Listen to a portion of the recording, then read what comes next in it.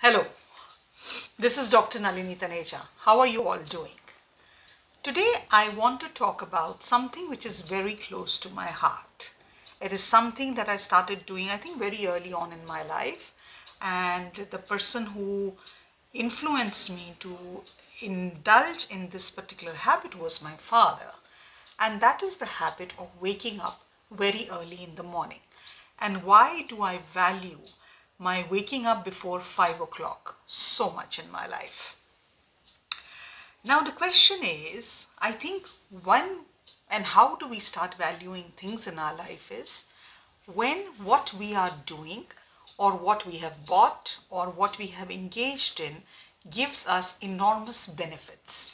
It is then that we realize this particular thing, this particular habit, this particular investment, this particular piece of clothing which I have bought, I think I need to indulge in it more or maybe practice this more because I feel so better. I feel so good. I feel so rejuvenated when I indulge in this particular habit. So today I want to share with you some of the things, and I've taken notes about it, that help me to go on continuing with this habit of waking up early. I think one of the biggest things and the biggest advantages I experience by waking up early is that I get in the first two hours so much me time, so much personal time without an interference from the outside world that that time helps me to be productive at another level altogether. I usually try to get up between it depends. It's usually between 3.30 and 4.30 and till the time the house wakes up and till the time you know you have to do the daily course of the house you need to prepare to go to work and all those things start to happen there is a good three hours between 4.30 and 7.30 there is this three hours of time which i can monitor i can plan i can organize things around it just for myself without being disturbed by anything or anyone. This particular time has become sacred to me because it is at this time when I get up, I do my early morning walk. I'm not an exercise person. I will not lie about it. Exercise is not something that I'm passionate about. But I have made a commitment to myself that I am going to work out at least 20 minutes a day. It could go up to, I'm working on getting up to 30 minutes and eventually an hour a day.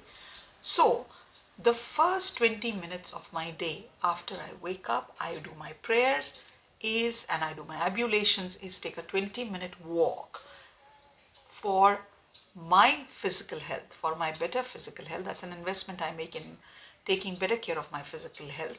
And it's only after that that I do something else. Now, the thing about doing this is it gets out of my way. I have achieved something that I don't like right in the beginning of the day so I don't have to worry about it.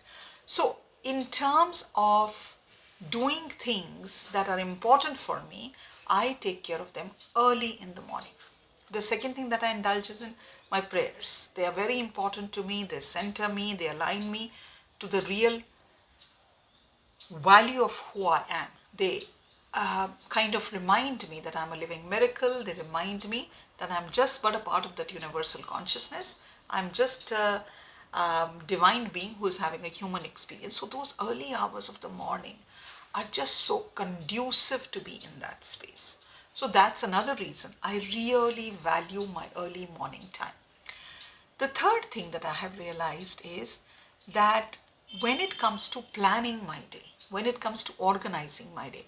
I do make a to-do list a day before I sleep, but early in the morning, I'm able to really get clarity in my head as to what I need to accomplish, how many hours it will take me to accomplish, and also to plan out some activities which I know are going to be good either for my work or for my personal life or my spiritual life, for my physical health, my mental health.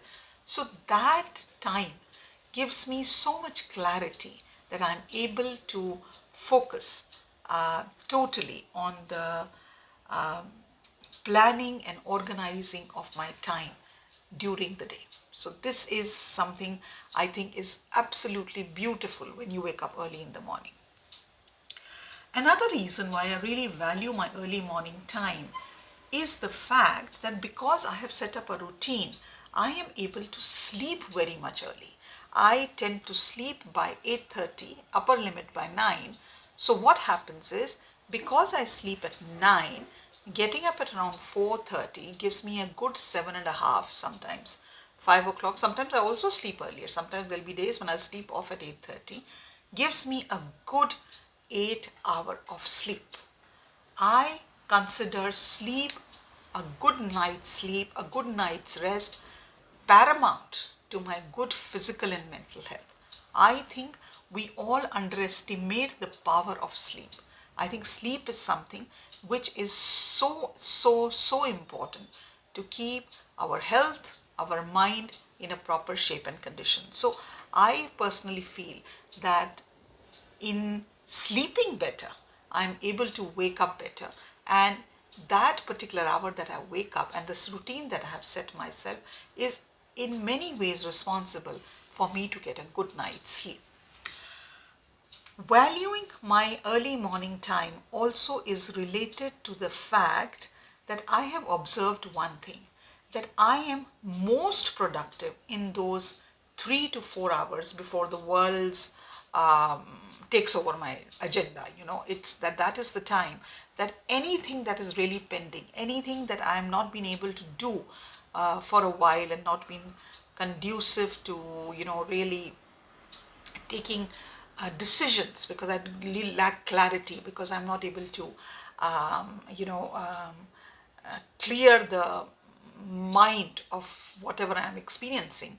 The early morning hours are very productive in that way because just after my, you know, uh, exercise and my mindfulness practice, this is what I'll talk about a little later, I am able to be align my thoughts. I get just tremendous clarity in the morning. And I'm like, okay, I have this situation in my life. This is a problem which is a bit challenging for me. What are the solutions? And it's just amazing how solutions literally land up in my lap. I don't know, has, does it have to do with the early morning routine or my waking up in the morning or the fact that it's very quiet or the fact that I have more clarity. But more often than not, I'm able to find out solutions to the challenges that I'm facing at that hour. Another thing, that I indulge in early in the morning and I'm very grateful that I've started that practices that I try and sit quietly and meditate. Um, I don't know, you can call it meditation or you can call a mindfulness practice, but early in the morning, I spend nearly 15 to 20 minutes just sitting quietly. I focus on my breath, I focus on just observing my thoughts. I don't indulge and engage with my thoughts. I just focus on one thought coming, one thought going, and I become an observer to whatever is happening in my brain. I am a hyperactive individual. I am somebody who wants to conquer the world and do a million things at one given point in time. But this particular practice of meditation, of mindfulness on a day to day basis, has helped me to calm my nerves a bit. I'm not jumping from one thing to the other to the third to the fourth. Earlier on, before I started this practice in the wee hours of the morning, I was trying to do multiple things at any given point of time. I had this habit that I need to do, uh, you know, make the vegetable at the same time, probably write a book at the same time, and at the same time take care of all my meetings. Doesn't happen in the realistic world. And also, I have realized multitasking is really bad for you in so many ways and at so many levels. But this particular practice of just sitting silently, of just observing my mind, has been able to calm me so many times that I can't even come to express my gratitude for it. So these are some of the things that I have realized waking up early does for me. Um, I'm not saying it's everybody's cup of tea. I am not saying that um, uh, it's, it, it's something that, uh, because I also am very aware that everybody has different body clocks, but I'm certainly sure of this, it's worth a try. why don't we give it a try? It, I also just gave it a try. You know, my father, as when we were very young, he used to get up very early, and he was like, "You have to get up early." I mean, there is no, uh, you know, there is no uh, your, uh, uh, your your permission is not being asked. This is something that you just do, and uh, because he was quite strict, we I just had to do it. I don't think I had a choice to say, "No, Papa, I'm not getting up early. I want to sleep for another one word from him, and it was enough for you to get out of bed." So I tried it when he literally forced uh, me to do that, and I remain eternally grateful to him for that. So um, I would probably suggest, uh, as a good friend, that try it out for yourself and see can you feel the magic of the early morning when you wake up and the sun is still not risen? Can you experience the joy, the peace, and the calm that comes with early morning waking up? And if you try it, do let me know in the comment section how did it go for you. Uh, did you like it? Did you enjoy it? Did it uh, do wonders for your mind, body, and soul? And uh, I look forward to hearing from you about this particular exercise if at all you indulge in it. Um, that's all for me at uh, Dr. Nalini Taneja today, and I hope you have a wonderful week ahead of you. Bye for now.